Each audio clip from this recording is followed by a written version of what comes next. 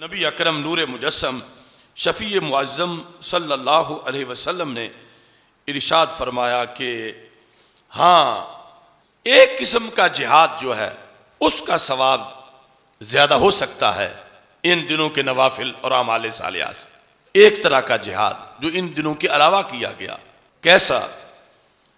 فرمایا کہ اللہ راجل خارجہ بے نفس ہی ومال ہی فلم یرج منظال کا بشے۔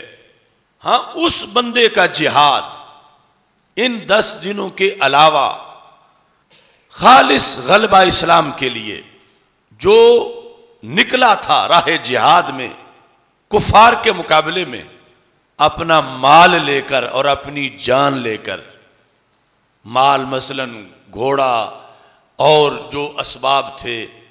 لیکن فرما، لم یرج من ذالی کا بشے۔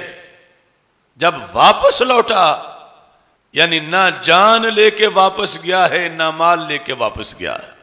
وہی شہید ہو گیا ہے۔ اس کے جہاد کی فضیلت تو ان دنوں کے امال صالحہ سے زیادہ ہے۔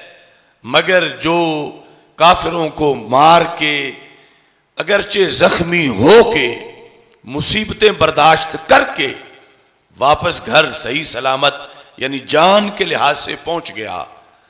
اس سے ان دنوں کے اعمال صالحہ زیادہ فضیلت رکھتے ہیں۔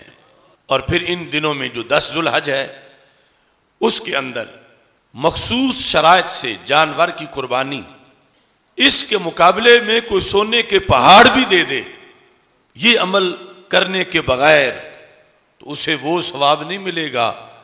جو اللہ کے رستے میں اللہ کی رضا کے لیے جانور کو ذبح کرنے کا ثواب ملے گا۔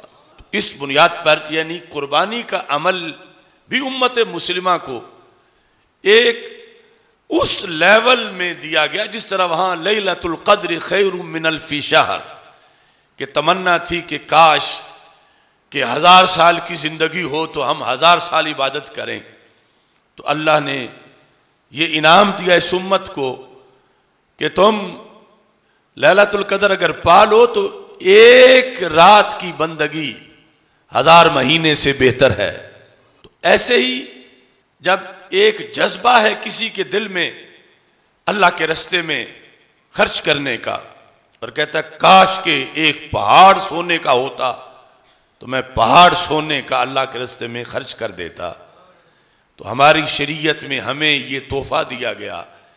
کہ تم سنت ابراہیمی علیہ السلاۃ والسلام اور سنت محمدی علیہ السلاۃ والسلام اور حکم الہی کو سامنے رکھتے ہوئے ریا سے پاک ہو کر مشروط وقت میں مشروط قسم کا جانور مشروط طریقے سے اللہ کے رستے میں پیش کرو گے اس عراقت دم خون بہانے کی اس عمل کی بنیاد پر رب تجھے سونے کے پہاڑ سے بڑے صدقے کا ثواب عطا فرما دے گا۔